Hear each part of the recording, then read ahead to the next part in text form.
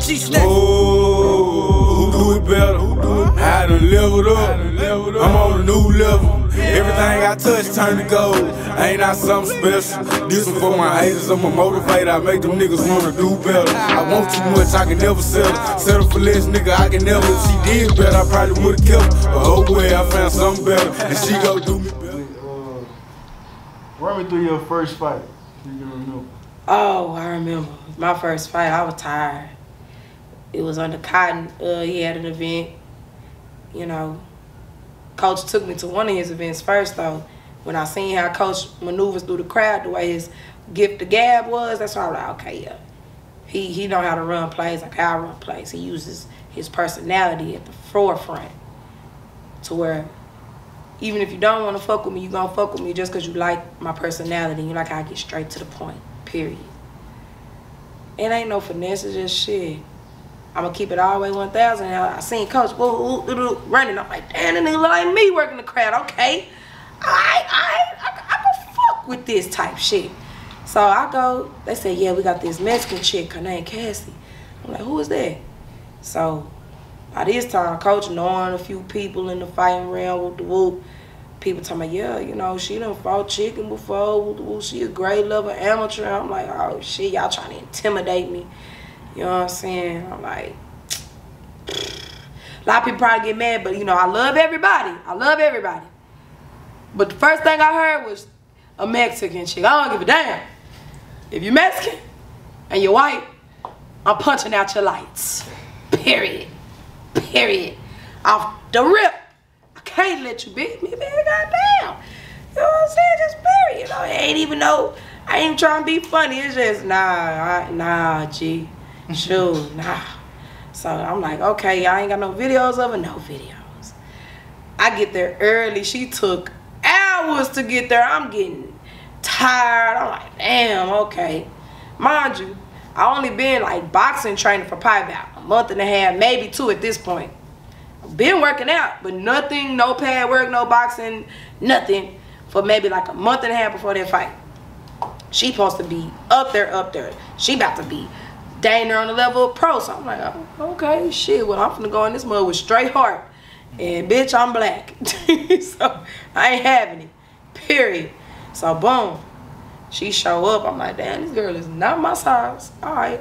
She's short though, so that's that's where I that's what happened. So first round come, boom, boom, boom. She caught me with a mean overhand. I said, woo!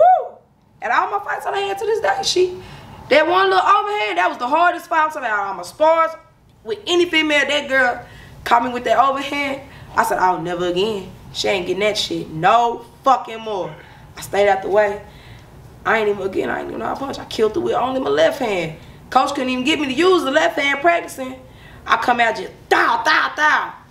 Made her, uh, made her fall out the ring. Bam, they had to fix her hair.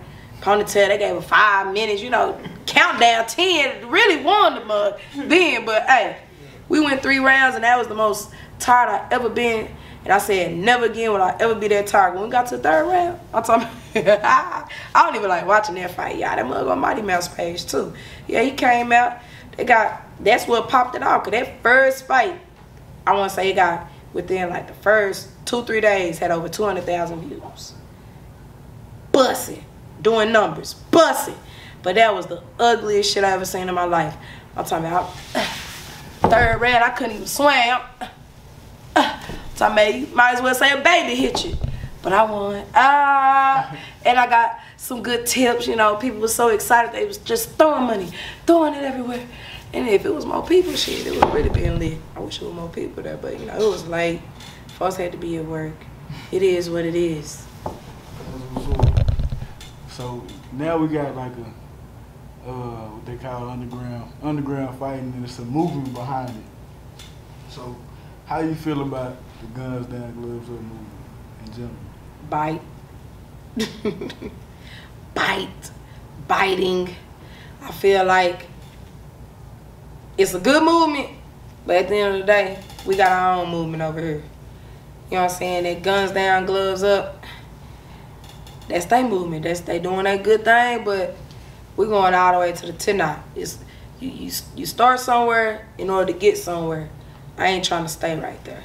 I So- mean, I understand that part. I mean, as far as the as the cause go, like Oh, the cause is that's awesome. I, I I feel like guns down, gloves up, beautiful. I feel like I wish that our sector and Dallas would come up with a whole nother name, if you know what I mean. hint, hint, hint, hint. That's why I say bite.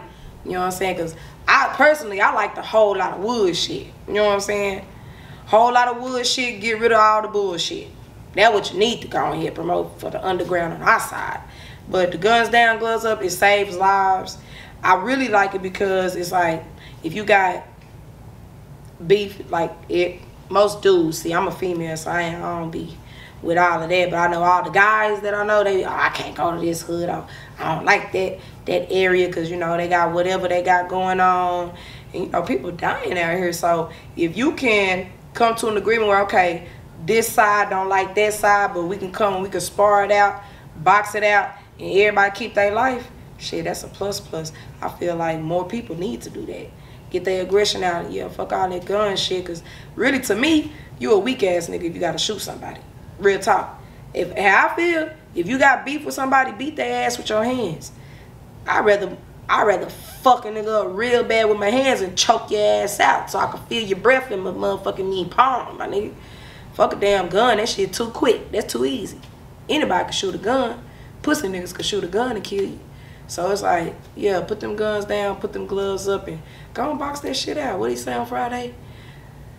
You uh, live, you you fight, you live to You- fight another day. but you live to fight another day. You don't need that gun, Craig. You don't need that gun. All right, so you don't. Uh, how many fights you say you don't have in the underground? Man, it's been tough. I supposed to been done had about eight, but then all these girls want to flake. I got me a solid four in the dough. It's a yep four. Had Cassie. We had your girl Jackie O. You know what I'm talking about? That was a nice little event right there. That really turned it up another notch too. Then after that, oh yeah, Mighty Mouse came back. Thought he had another one. I don't know why Mighty Mouse keep trying to bring these Mexicans and these white girls. I'm gonna beat their ass every time. Period. I'm beating y'all ass every time. He brought a girl from Pennsylvania on top of that. Pennsylvania? If you ain't from Pittsburgh, you can get that shit out of here. Then she had me by the weight. I still ain't got to fight nobody my weight yet. Everybody been weighing more than me. Every every fight. Every fight. The girls, I can't wait to get somebody my weight. I'm knocking your ass the fuck out. Period. Just like this. Just like that. The long way. So do you plan on you plan on hitting the uh, the amateurs Of before you go pro?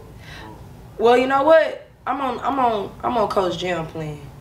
You know what I'm saying? I feel like if I do go pro, it's gonna be the amateur pro first. Get a couple of little, you know, knock the cobwebs off, knock the nervousness off and stuff like that. Get a feel for the next level first.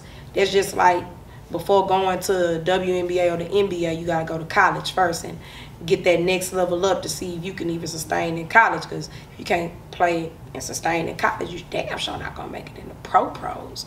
So I feel like it would be a good move to go do like a little AM pro, but of course you still don't have to get your book, so I would still technically be registered. You know what I'm saying? So yeah, that that that would be nice. Then if I sweep their ass, we we just finna go and take off, man.